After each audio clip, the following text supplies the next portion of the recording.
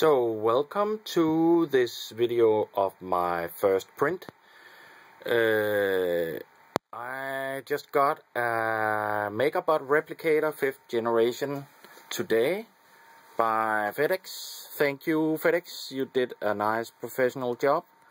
I just unboxed it, you can see that in a, another video shortly. Um, None of the built-in uh, uh, models will print. I did the level build plate, I loaded the filament, everything was fine, but when I hit print nothing happened. So now I hooked up to MakerBot Desktop. I had to actually use a manual IP address to get this going, but now I'm hooked up and you will be witnessing my first 3D print, hopefully. Let's see what happens. I chose the Captain Space Monkey, which is a 15 minute print apparently, which is the only thing I could get working was to hit the purchased button and there was some free samples. So I'm I'm gonna try that. It turned red. It's moving. It's heating the extruder. This is very interesting.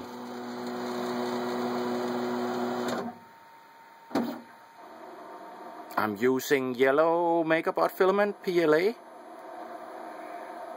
And this is my first ever 3D print. I was a little bit worried that none of the built-in files on the internal memory. Actually, the print button just didn't work on those. But then I hooked up to my library on on this it even tells me that the bud is pre preheating. It would accept files from my library the ones that had layouts but I did those myself so I wasn't too sure whether they would work. So I just selected one of the ones from the shop. There's two demo files there and I checked that I actually it looks like I have the latest revision of the firmware on the this unit. They shipped on April 3rd I think.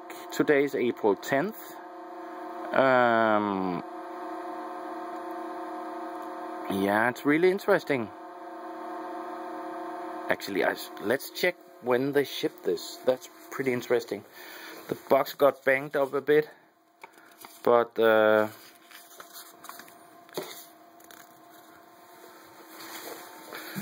does the invoice say? This is still preheating, 55%. Let's check when this was shipped.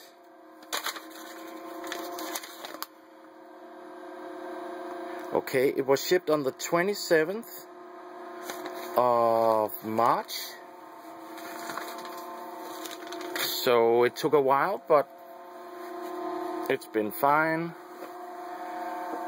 The original estimated shipping time was at the end of February, so they went about 27 days past that.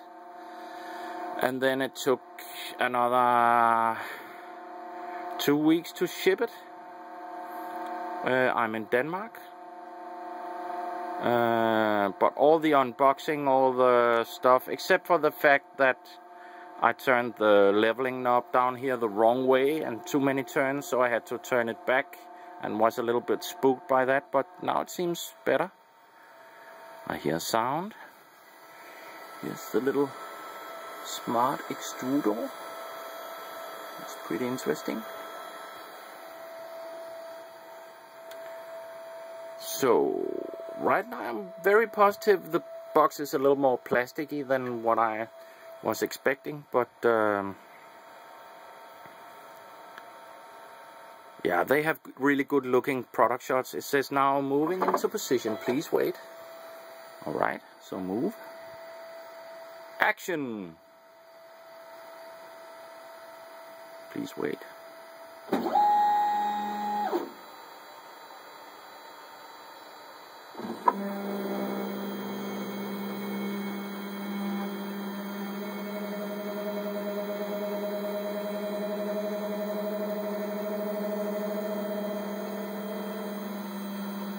Let's hope it doesn't do the suicide move now.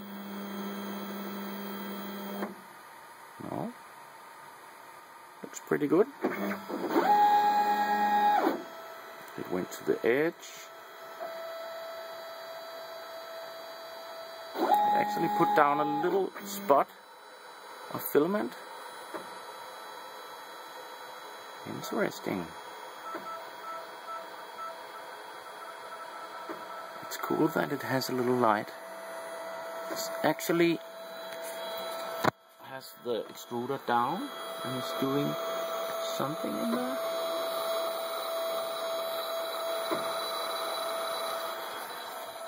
And it just says print progress 77%. I wonder what's happening. Hmm.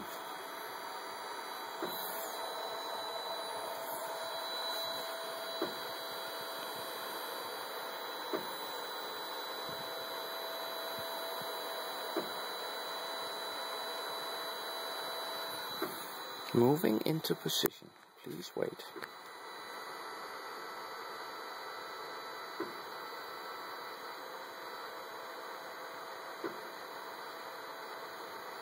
It should print with a raft. Ah, this is what's what we're waiting for. This needs to hit uh, 230 degrees, I think. So let's just turn off the house light here. I like this. Very nice with the LEDs.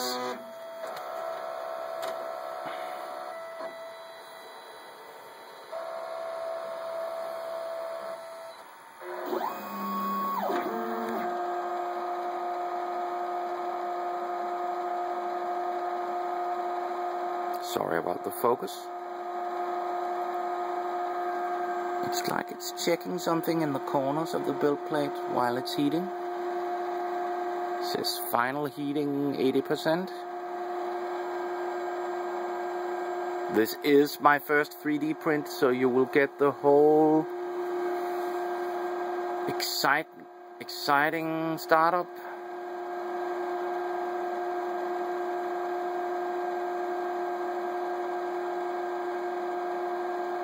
Anyway, the advice I got was to buy an Ultimaker, buy a Replicator 2, not a 5th generation, it's not ready yet, but so far it's actually been going pretty good. It might not be as fast as the older printers, actually, but you know, this is for the future, I hope. I really hope so. And actually, I tend to like MakerBot. I think they make a nice product, which is something I like having in my home. And the salesman I talked to was brutally honest. I ordered directly with MakerBot. And the FedEx shipping company was extremely professional and, you know, so far it's been good. I had to pay the money up front and that's a little bit tough but I think MakerBot is calling the shots right now because they are the king of the hill in New York City right now concerning 3D printers. And yeah, doesn't look too bad.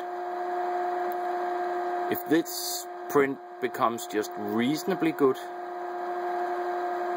uh, then I'm off at a good start. I started setting this up at 9, so it's been 1 hour 45 minutes. Um, including the time it took me to uh, to realize that I probably didn't have to upgrade the firmware and I probably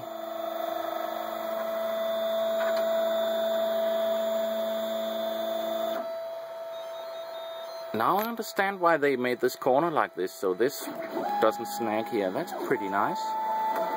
It's almost there.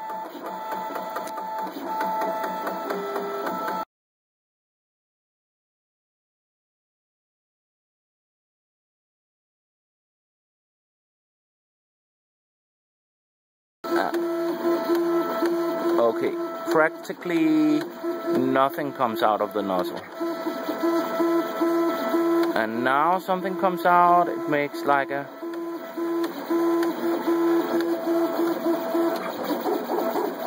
half the raft is there.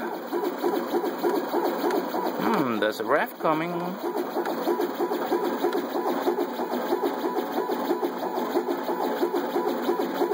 This is my first 3D print.